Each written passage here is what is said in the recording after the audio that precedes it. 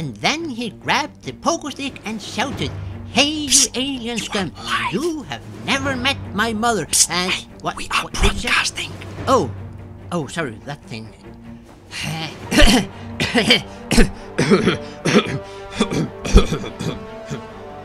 Welcome back, Commander.